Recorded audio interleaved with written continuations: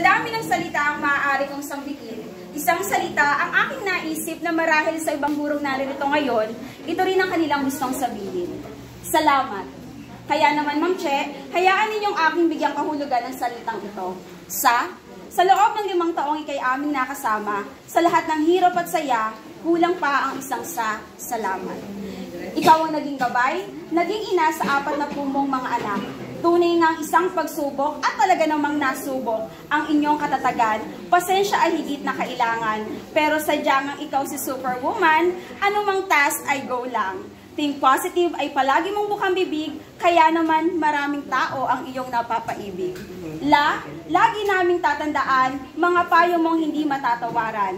Always give your best at it's the little things that make a big difference. Babalikan namin ang lahat ng alaala, ang mga aral na nagbigay pagpapahalaga. Dahil sa lahat ng hirap at saya, kulang ang isang sa salamat.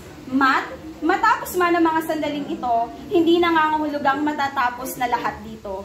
Maaaring limang taon lang ang ating pagsasama, ngunit higit pa dito ang aming maaalala.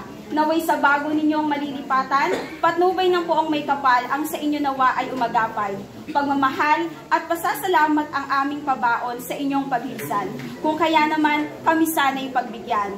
At ikay aming lubos na mapasalamatan. Inspirasyon ka ng karamihan ng ating mga kasamahan. Kaya naman, naway tanggapin ang itong libong pasasalamat. Dahil sa lahat ng hirap at saya, kulang ang isang sa salamat. Isa kang tunay na alamat. Oy, ganda na.